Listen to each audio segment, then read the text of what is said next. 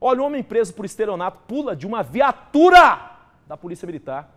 O cara o que é que fez? É, preso eu não vou. Fugiu da viatura. Agora, o, o, a Jaque está comigo aqui. Jaque, ele estava com as mãos soltas porque parece que correu com tanta facilidade ali?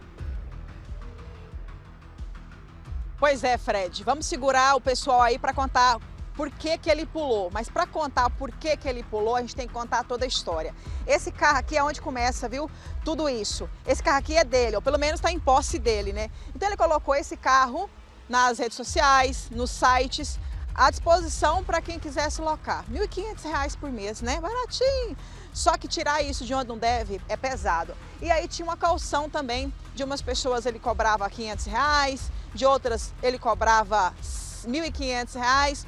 E até aí tudo certo. Ele falava assim, ó, vamos, vamos, vamos combinar aqui, ó. A gente vai lá pro cartório, a gente tá no cartório e a gente vai combinar de passar pro seu nome para ficar tudo certo. Só que aí no meio do caminho, o carro brecava, parava de funcionar. Sabe o que acontece? Ele cancelava o carro. E daí ele ligava, aí a vítima ligava para ele e falava assim: "O carro parou, estragou". Ele falou: "Não, tô indo aí resolver". Chegava lá, ligava o carro, sumia com o carro e sumia com o dinheiro. Aqui na central de flagrância, até agora tem seis vítimas e a suspeita é de que tenha muito mais vítima. Tinha combinado com o senhor aqui de dele não mostrar o rosto, vai mostrar agora? Ele vai mostrar. Então tá.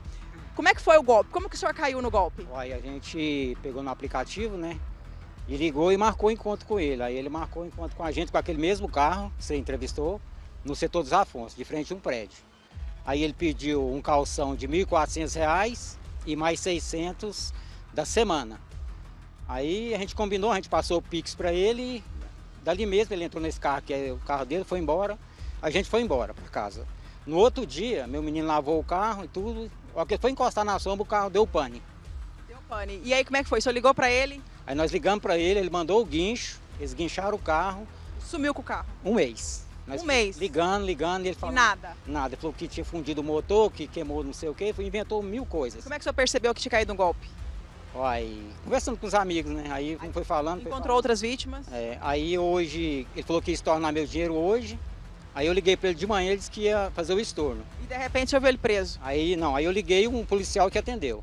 Aí, que era para me vir para a central de flagrante que ele tinha sido preso. E aí foi aonde que aconteceu tudo? É, onde aconteceu tudo. Olha, justamente. Pra, pois é, para E você. dinheiro suado, viu? Ah, gente, imagina, o senhor é motorista? Não, eu tenho uma. Meu menino que ia ser. eu, Ah, eu tava alugando para ele. pro né? filho. É, a gente trabalha autônomo mesmo. Pois é. Mas você está aqui na delegacia, tem mais vítimas aqui, a gente não vai mostrar porque as pessoas não querem aparecer, as pessoas têm medo, as pessoas não sabem nem quem é esse homem. Mas aqui também está cheio de advogado também, tentando é, defendê-lo aí, né? é, na- na- no direito dele.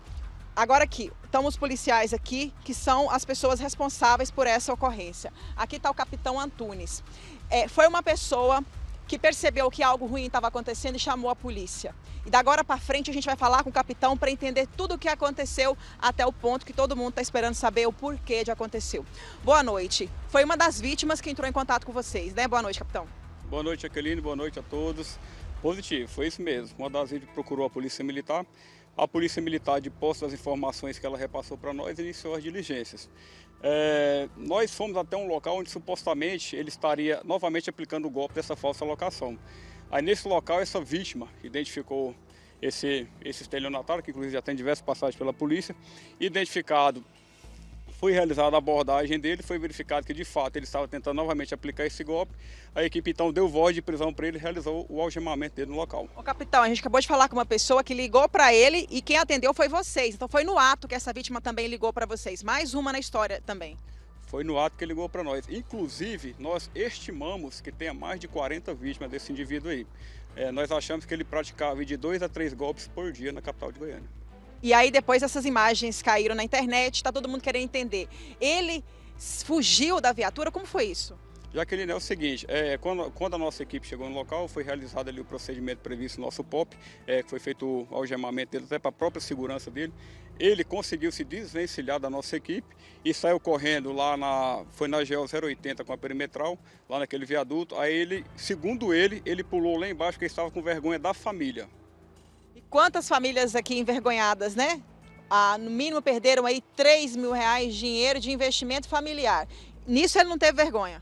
É, infelizmente não, porque ele é quanto mais essa prática criminosa, né? Nós vimos aí que ele está andando até com a uma caminhonete do ano. Ele tem três veículos que ele realizava para essas falsas locações, já tendo lesado diversas pessoas aí com esse golpe. Ele já tinha passagens? Ele tem 24 anos, né? Ele tem 24 anos, tem passagem por furto e tem quatro passagens pelo crime de estelionato. Eu tenho certeza que tem muita gente aqui assistindo agora, indignado com a situação, entendendo que sim, caiu no golpe também. Essas pessoas precisam procurar onde? Jaqueline, essas pessoas têm que procurar a central de flagrantes, está tá fazendo o registro devido e está trazendo o seu caso para a autoridade competente, né? Porque quantas mais pessoas trouxerem os seus casos, mais ele vai ter que responder perante a justiça pelos crimes que ele cometeu Ô, e está ressarcendo essas pessoas aí posteriormente. Eu, tenho, eu, tenho, eu sei que tem gente querendo saber, ele morreu, ele está vivo, o que, que aconteceu na queda? Não, ele não morreu não. Ele quebrou a perna esquerda, fraturou alguns ossos aí, mas ele está bem. Está bem, viu, Fred?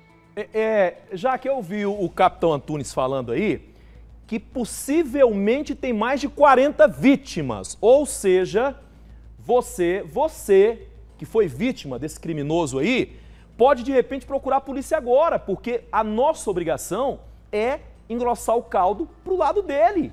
Não é, Jaque? Se tem mais vítimas, naturalmente, essas vítimas, a partir dessa situação, podem contribuir com a polícia, né, Jaque? Exatamente. Vale falar que neste momento tem seis vítimas aqui na central de flagrantes e tem praticamente o dobro de advogado, viu, tentando ajudar esse homem.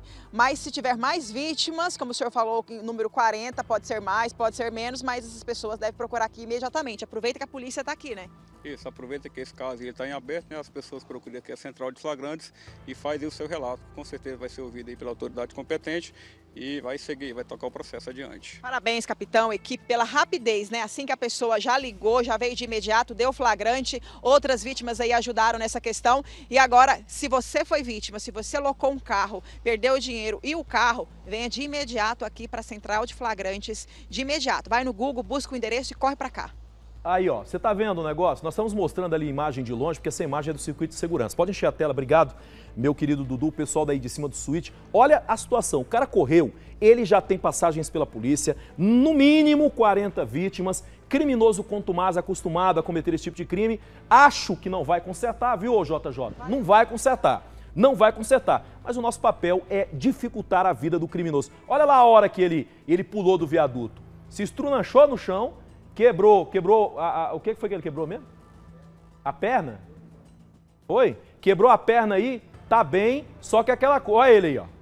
Olha ele aí. Ainda foi, ainda deu trabalho para os bombeiros. Gente, infelizmente a gente não pode mostrar o rosto por causa da lei, né? Mas de repente, se você foi vítima, procura a polícia, nos ajude, procure a polícia.